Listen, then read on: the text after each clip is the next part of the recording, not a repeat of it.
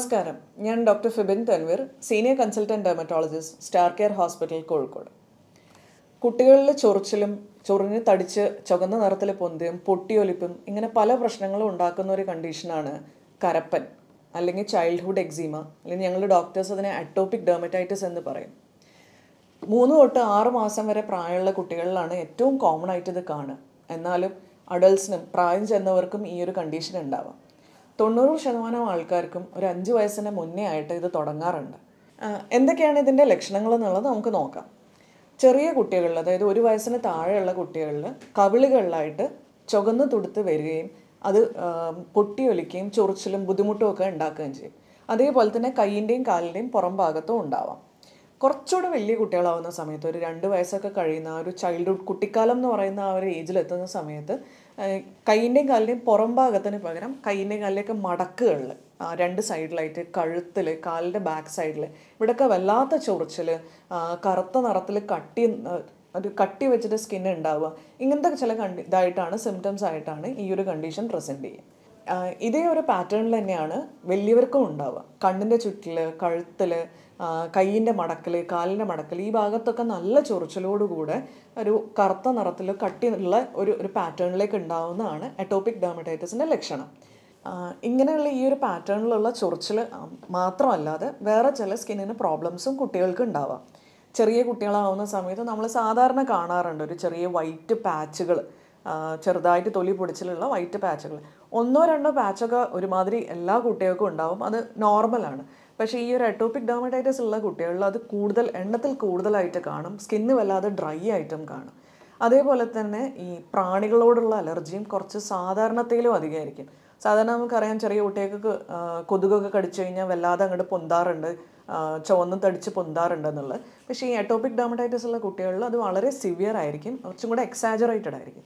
വേറൊരു ലക്ഷണം ഉണ്ടാവുന്ന ചൈൽഡ്ഹുഡ് ഫേസിൽ കുട്ടികളാവുന്ന സമയത്ത് ഈ യൂറോപ്യൻ ക്ലോസറ്റ് ഉപയോഗിക്കുന്ന കുട്ടികൾക്ക് ബാക്കിൽ തൊടയുടെ ബാക്ക് സൈഡിൽ ചൊറിച്ചൽ പൊട്ടൽ ഡ്രൈ സ്കിന്ന് ഇതൊക്കെ ഉണ്ടാവുന്ന ഒക്കെ ഈ ഒരു അറ്റോപിക് ഡെർമറ്റൈറ്റിസിന്റെ ലക്ഷണങ്ങളായിട്ട് വരുന്നതാണ്.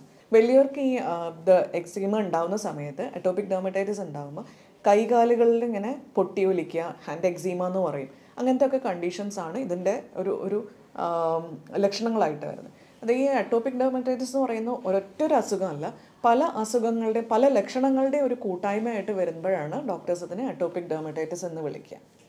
ഇത് ഈ അറ്റോപിക് ഡെർമറ്റൈറ്റിസ് എന്ന് പറയുന്ന ഒരു ഒരു സ്പെക്ട്രം ഓഫ് അസുഖങ്ങളായിട്ടാണ്. ചിലർക്ക് വളരെ മൈൽഡായിട്ടൊരു ഡ്രൈ സ്കിന്നും കുറച്ചൊരു ചൊറിച്ചിലും മാത്രമേ ഉണ്ടാവുള്ളൂ. ചിലർക്ക് ചുവന്ന് ഈ പറഞ്ഞ ഭാഗങ്ങളിലൊക്കെ ചുവന്ന് അടിച്ച് പൊന്തയും ഒക്കെ വരാം. ചിലർക്ക് ചിലപ്പം ഒട്ടാകെ ദേഹത്ത് വല്ലാതെ ചൊറിച്ചിലും ചുവപ്പും പൊട്ടിയൊലിക്കലും അങ്ങനെ സിവിയറിറ്റി കൂടിയ ഒരു ഒരു ഘട്ടങ്ങളും ഇതിനുണ്ട്. എല്ലാവർക്കും ഒരേപോലെ ആയിരിക്കില്ല. ചിലർക്ക് മൈൽഡായിട്ട് വരും ചിലർക്ക് സിവിയർ ആയിട്ട് വരും. ഇതിന്റെ കൂടെ തന്നെ ഈ സ്കിന്നിൽ ഉണ്ടാകുന്ന ലക്ഷണങ്ങളോടൊപ്പം തന്നെ മിക്ക ആൾക്കാർക്കും ഒന്നെങ്കിൽ ഒരു റെസ്പിറേറ്ററി അലർജി അതായത് ശ്വാസകോശത്തിന്റെ അലർജി ഒന്നെങ്കിൽ തുമ്മലാവാം അല്ലെങ്കിൽ വീസിങ് ആവാം ആസ്മയാവാം അല്ലെങ്കിൽ വയറ് സംബന്ധമായിട്ടുള്ള അലർജി എന്തെങ്കിലും ഒരു രീതിയിലുള്ള അലർജി ഒന്നെങ്കിൽ കുട്ടിക്കോ അല്ലെങ്കിൽ കുട്ടിയുടെ ഫാമിലിയിൽ ആർക്കെങ്കിലും ക്ലോസ് ആയിട്ടുള്ളവർക്കോ ഉണ്ടാവാനുള്ള ഒരു ചാൻസ് കൂടുതലാണ്. പിന്നെ ചൊറിച്ചിലാണ് ഇതിന്റെ മെയിൻ ആയിട്ടുള്ള ലക്ഷണം വരുന്നത്. ആ ചൊറിച്ചിൽ കാരണം തന്നെ സ്ലീപ്പ് ഡിസ്റ്റർബ്ഡ് ആവുന്നു അപ്പം കുട്ടിക്ക് പഠിത്തത്തിൽ കോൺസെൻട്രേറ്റ് ചെയ്യാൻ പറ്റാതാവുന്നു ഇറിറ്റബിൾ ആവുന്നു ഇതൊക്കെ ഇതിന്റെ ഒരു ഒരു പാർട്ടായിട്ട് വരുന്നതാണ്.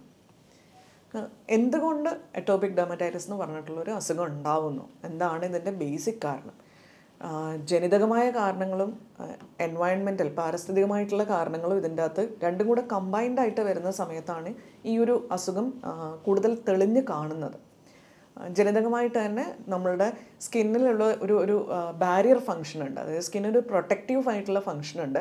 നമ്മളുടെ ഉള്ളിലുള്ള ജലാംശം പുറത്തോട്ട് പോകാതിരിക്കാനും പുറത്തുനിന്നുള്ള അലർജി ഉണ്ടാക്കുന്ന സാധനങ്ങൾ ഉള്ളിലേക്ക് കയറാതിരിക്കാനും വേണ്ടിയിട്ടുള്ള ഒരു പ്രൊട്ടക്റ്റീവ് ഫങ്ഷൻ ഉണ്ട്.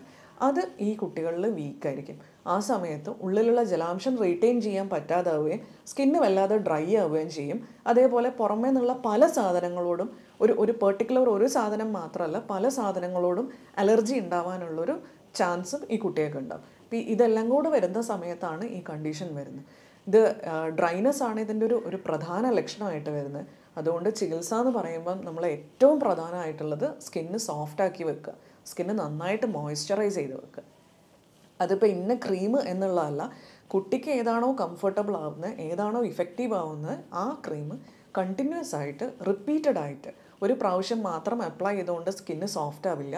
അതുതന്നെ മൾട്ടിപ്പിൾ പ്രാവശ്യം ഒരു ദിവസത്തിൽ സ്കിന്നിൽ ഈ മോയ്സ്ചറൈസേഴ്സ് അപ്ലൈ ചെയ്യണം. നമ്മൾ സാധാരണ പറയാം കുഞ്ഞിന് ആ മോയ്സ്ചറൈസിങ് ക്രീമിൽ മുക്കിയെടുക്കാൻ പറ്റുമെങ്കിൽ അത്രയും നല്ലതെന്നുള്ള രീതിയിലാണ്.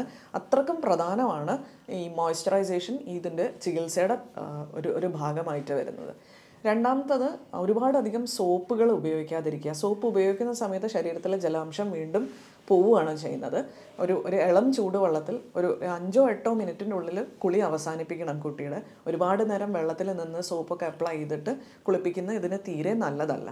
സോ അതാണ് ഇതിനകത്ത് ശ്രദ്ധിക്കാനുള്ളത്. അതേമാതിരി ഡോക്ടർ പറഞ്ഞു തരുന്ന ക്ലെൻസർ ഏതാന്ന് വെച്ച് കഴിഞ്ഞാൽ അത് യൂസ് ചെയ്യുക. ചികിത്സയുടെ മറ്റൊരു ഭാഗമാണ് കഴിയുന്നത്ര അലർജൻസിനോടുള്ള എക്സ്പോഷർ കുറയ്ക്കുക എന്നുള്ളത്.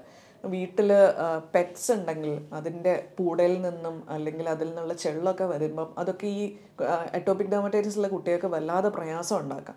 സോ അങ്ങനെ എന്തെങ്കിലും ഉണ്ടെങ്കിൽ അവോയ്ഡൻസ് അത് പെറ്റുമായിട്ടുള്ള കോണ്ടാക്റ്റ് അവോയ്ഡ് ചെയ്യുക അതേപോലെ വീട്ടിൽ ഹെവി ആയിട്ടുള്ള കാർപ്പറ്റ്സ് യൂസ് ചെയ്യാതിരിക്കുക. ബെഡ്ഷീറ്റ് ഒരു രണ്ടോ മൂന്നോ ദിവസം കൂടുമ്പോഴെങ്കിലും മാറ്റുക. തിന്നായിട്ടുള്ള ഈസിലി വാഷ് ചെയ്യാൻ പറ്റുന്ന കേർട്ടൻസ് യൂസ് ചെയ്യുക. കുട്ടി കിടക്കുന്ന റൂമിലെങ്കിലും അറ്റ്ലീസ്റ്റ് സാധനങ്ങളുടെ എണ്ണം കുറയ്ക്കുക.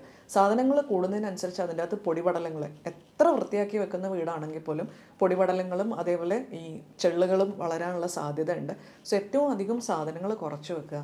സോഫയൊക്കെ റെക്സിന്റെ മെറ്റീരിയൽ കൊണ്ടാണെങ്കിൽ അറ്റ്ലീസ്റ്റ് തുടച്ചെടുത്തിട്ട് നമുക്കത് ക്ലീൻ ചെയ്യാൻ പറ്റും. അങ്ങനെ മാക്സിമം ഒരു ഒരു അലർജൻസിനോടുള്ള എക്സ്പോഷർ കുട്ടിക്ക് കുറയ്ക്കുക എന്നുള്ളതാണ് നമുക്കൊന്ന് ചെയ്യാൻ പറ്റുന്നത്. രണ്ടാമത്തത് ക്ലോത്തിങ്ങിന്റെ കാര്യം ലൂസായിട്ടുള്ള കോട്ടന്റെ വസ്ത്രങ്ങൾ ഉപയോഗിക്കുക. ഈ വൂളൻ ക്ലോത്തിങ് ഒക്കെ യൂസ് ചെയ്യുന്ന സമയത്ത് കുട്ടിക്കത് വളരെ ഇറിറ്റേഷൻ ഉണ്ടാക്കും. എട്ടോപ്പിക് ഡെർമറ്റൈറ്റിസ് ഉള്ള കുട്ടികൾക്ക് ഭയങ്കര അത് നമുക്കൊക്കെ റഫായിട്ട് ഫീൽ ചെയ്യുന്ന അവർക്ക് ഭയങ്കര ചൊറിച്ചിലായിട്ടാണ് ഫീൽ ചെയ്യുക. സോ അത് വീണ്ടും അത് ചൊറിയുകയും ചൊറിഞ്ഞ് പൊട്ടാനുമുള്ള ഇറിറ്റേഷൻ വർദ്ധിക്കാനേ സഹായിക്കും. ഇനിയിപ്പോൾ തണുപ്പ് കാലത്ത് ഉളൻ ക്ലോത്ത്സ് യൂസ് ചെയ്യണം എന്നുണ്ടെങ്കിൽ ഉള്ളിലൊരു കോട്ടന്റെ തിൻ ലെയർ ക്ലോത്തിങ് ഇട്ടതിന് ശേഷം മാത്രം വുളൻ ക്ലോത്ത്സ് യൂസ് ചെയ്യാം ഇതൊക്കെയാണ് നമ്മൾ ബേസിക്കലി ഒരു എട്ടോപിക് ഡെർമറ്റൈറ്റിസ് ഉള്ള കുട്ടികൾ ഉണ്ടാകുമ്പോൾ ശ്രദ്ധിക്കേണ്ട കാര്യം. മെയിനായിട്ട് മോയ്സ്ചറൈസേഷൻ രണ്ടാമത്തത് യൂസ് ചെയ്യുന്ന സോപ്പ് അല്ലെങ്കിൽ ക്ലെൻസർ മൂന്നാമത്തേത് അലർജൻസ് കുറയ്ക്കുക എന്നുള്ള പൊടിപടലങ്ങളോടുള്ള സമ്പർക്കം കുറയ്ക്കുക എന്നുള്ളത്. ഇതിലൊന്നും നിൽക്കുന്നില്ല വളരെയധികം ബുദ്ധിമുട്ടുണ്ടാവുന്നുണ്ട് പൊട്ടിയൊലിപ്പ് ഉണ്ടെന്നുണ്ടെങ്കിൽ ഡോക്ടേഴ്സ് അതിനനുസരിച്ചുള്ള മരുന്നുകൾ പ്രിസ്ക്രൈബ് ചെയ്യും. സ്റ്റെറോയിഡ് പോലത്തെ മരുന്നുകൾ അല്ലെങ്കിൽ ഇത് കൺട്രോൾ ചെയ്യാൻ വേണ്ടിയിട്ടുള്ള ഇമ്മ്യൂണോസപ്രസീവ് ആയിട്ടുള്ള മെഡിസിൻസ് ഫോട്ടോതെറാപ്പി അങ്ങനെ പല ട്രീറ്റ്മെന്റ് ഓപ്ഷൻസിന് ഇതിനുണ്ട്. പക്ഷേ ഇതിൽ നമ്മൾ അറിഞ്ഞിരിക്കേണ്ടതെന്ന് വെച്ച് കഴിഞ്ഞാൽ ഈ ഒരു ഒരാഴ്ച രണ്ടാഴ്ച ട്രീറ്റ് ചെയ്തിട്ട് കംപ്ലീറ്റ് ആയിട്ട് അങ്ങ് മാറ്റിയെടുക്കുന്ന ഒരു അസുഖമല്ല. അതിന് പകരം ഇത് കറക്റ്റായിട്ട് അതൊന്ന് കൺട്രോൾ ചെയ്ത് വെക്കുക എന്നുള്ളതാണ് ഇതിന്റെ ചികിത്സയുടെ ഉദ്ദേശം അല്ലെങ്കിൽ ചികിത്സയ്ക്ക് ഒരു ഫലപ്രാപ്തി ഉണ്ടാകുന്നത് സോ കറക്റ്റ് ഫോളോ അപ്പ് ഇതിന്റെ അകത്ത് നിർബന്ധമാണ് അനിവാര്യമാണ്. അല്ലാണ്ട് കുറച്ച് നാൾ ചികിത്സിച്ച് കഴിഞ്ഞാൽ പൂർണമായിട്ടും വിട്ടുപോകുന്ന ഒരു അസുഖമല്ല. പക്ഷേ കൃത്യമായ ചികിത്സയ്ക്കും ബാക്കി മോയ്സ്ചറൈസേഷന്റെ കാര്യമൊക്കെ ശ്രദ്ധിച്ചു കഴിഞ്ഞാൽ കുട്ടിക്ക് യാതൊരു ബുദ്ധിമുട്ടും ഇല്ലാതെ കൊണ്ടുപോകാൻ പറ്റുന്ന ഒരു അസുഖമാണ് താനും. ഈ ഒരു അറ്റോപിക് ഡെർമറ്റൈറ്റിസ് കാരണം ചൊറിഞ്ഞ് പൊട്ടലും ഒക്കെ വന്ന് അതിന്റെ അകത്ത് ഇൻഫെക്ഷൻസ് ഒക്കെ വന്ന് അല്ലെങ്കിൽ ഈ റിപ്പീറ്റഡ് ആയിട്ടുള്ള ചൊറിച്ചിലും അതിന്റെ ഇറിറ്റബിലിറ്റിയും കാരണം ഉറക്കം ഡിസ്റ്റർബ്ഡ് ആവുക പഠിത്തത്തിന് എഫക്റ്റ് ചെയ്യുക അങ്ങനെ പല കോംപ്ലിക്കേഷൻസിലേക്ക് ഇത് പോവാൻ സാധ്യതയുണ്ട്. അതുകൊണ്ട് ഇങ്ങനെ എന്തെങ്കിലും കണ്ടു കഴിഞ്ഞാൽ കറക്റ്റായിട്ടുള്ള ട്രീറ്റ്മെന്റ് നിങ്ങൾ ഡെർമറ്റോളജിസ്റ്റിന്റെ അടുത്ത് നിന്ന് സ്വീകരിക്കുക. അത് കറക്റ്റായിട്ട് ഫോളോ അപ്പ് ചെയ്യുക എന്നുള്ളതാണ് ഇതിനുള്ളൊരു പ്രതിവിധി. ഈ അസുഖത്തിനെ കുറിച്ച് എന്തെങ്കിലും സംശയങ്ങളുണ്ടെങ്കിൽ താഴെ കമന്റ് ബോക്സിൽ ഇട്ടാൽ മതി. Thank you